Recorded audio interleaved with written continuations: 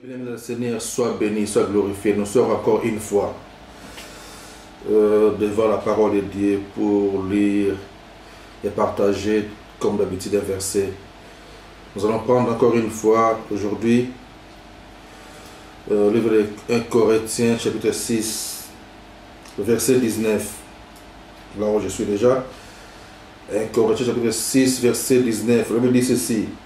Ne savez-vous pas que votre corps est le temple du Saint-Esprit qui est en vous, que vous avez reçu de Dieu et que vous ne vous appartenez point à vous-même. Je réponds ce verset. 1 Corinthiens chapitre 6, verset 19. La Bible nous dit ceci.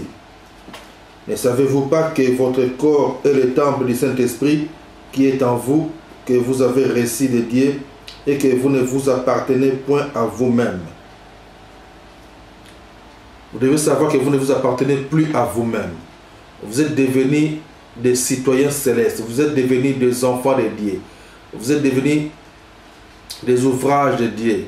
Vous êtes devenus le temple du Saint-Esprit. Votre corps est devenu l'habitation de l'Esprit de Christ. Donc l'Esprit de Dieu habite en vous. Donc vous ne vous appartenez plus à vous-même. Donc tout ce que vous devez faire, tout ce que, tout ce que vous devez entreprendre dans ce monde, vous devez toujours l'associer avec Dieu. Vous devez toujours faire de sorte que, que Dieu puisse être au centre de ce que vous faites dans ce, la terre. Parce que vous êtes devenus ses enfants.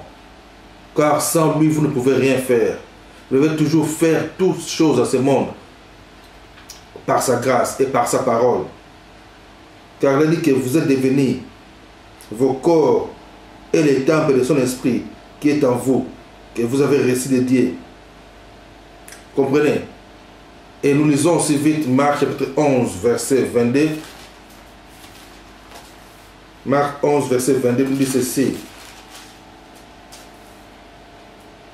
Ayez foi en Dieu. Ayez foi en Dieu. Vous devez croire en Dieu dans tout ce que, tout ce que vous pouvez faire dans ce monde. Tu dois croire à Dieu, peu importe ton problème ou la situation que tu traverses.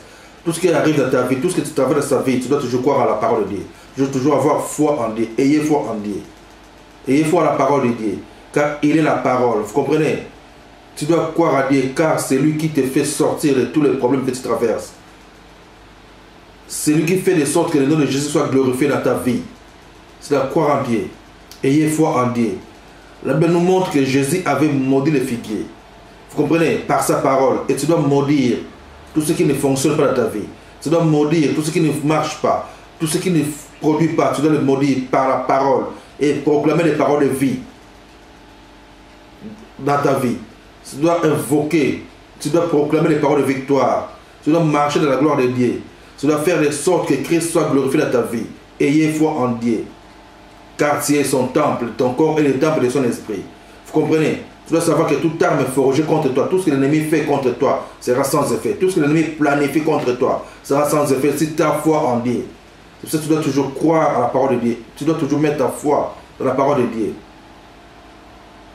Et détruire tout ce qui est des ténèbres. Et proclamer la victoire. Marche la victoire. Car tu es avec Dieu. Ton corps est son temple. Vous comprenez? Il a dit que vos corps votre corps est le temple de cet esprit qui est en vous, que vous avez reçu de Dieu et que vous ne vous appartenez point à vous-même. Tu appartiens à Dieu. Es devenu son temple. Que Dieu te bénisse. Continue toujours à suivre nos exhortations, nos partages bibliques dans l'école du Saint-Esprit sur Shiloh TV. Que Dieu te bénisse.